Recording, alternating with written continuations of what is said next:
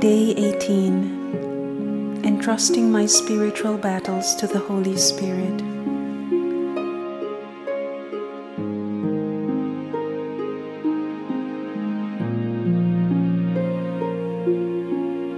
Pray wholeheartedly in union with Mary.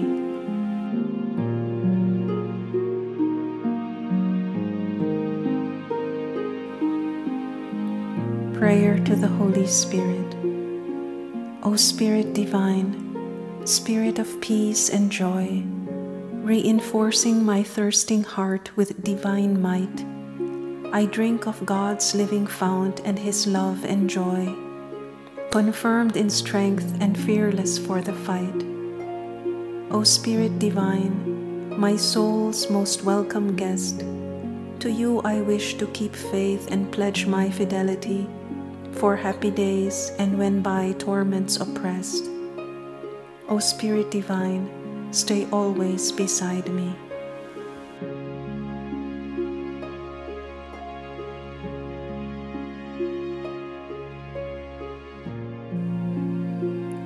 From the Gospel according to St. John. If the world hates you, realize that it hated me first.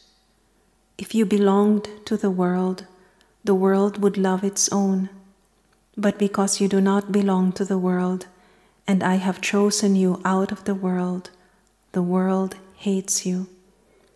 Remember the word I spoke to you No slave is greater than his master. If they persecuted me, they will also persecute you.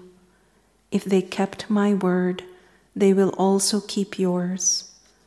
When the Advocate comes, whom I will send you from the Father, the Spirit of truth that proceeds from the Father, he will testify to me. And you also testify, because you have been with me from the beginning.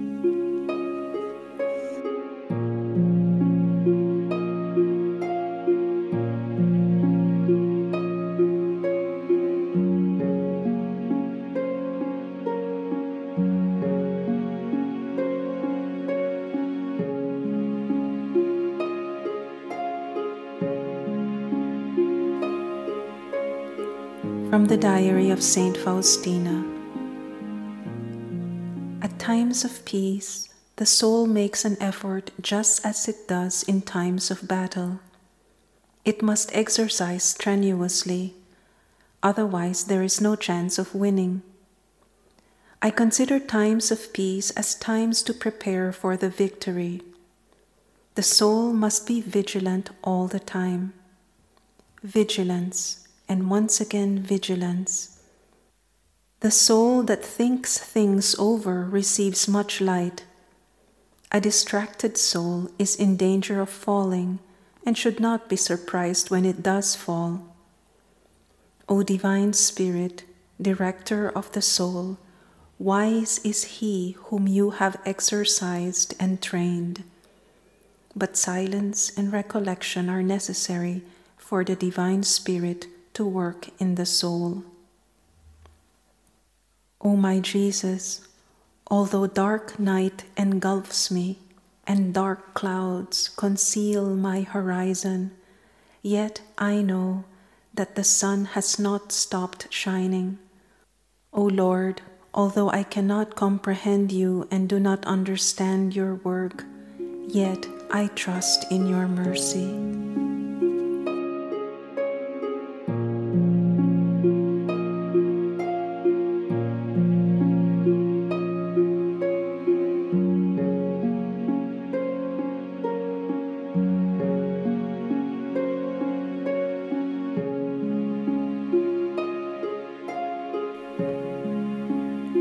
Prayer of Entrustment. O Mary, spouse of the Holy Spirit, by listening carefully to the voice of God all the time, you strengthened your soul for all kinds of suffering that may come your way. You allowed the Holy Spirit to lead you through so many spiritual battles that none of us can even imagine. However, amidst suffering and persecution, you never doubted in God who is love and mercy itself.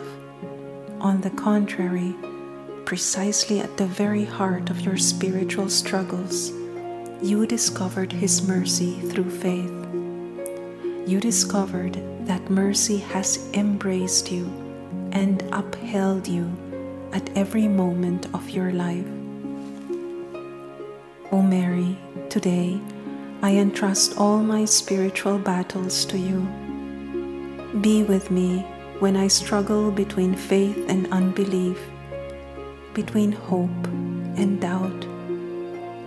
May the Holy Spirit strengthen me with the gift of fortitude, so that concentrated on Him, I may emerge victorious from every spiritual battle, and precisely there, experience His mercy.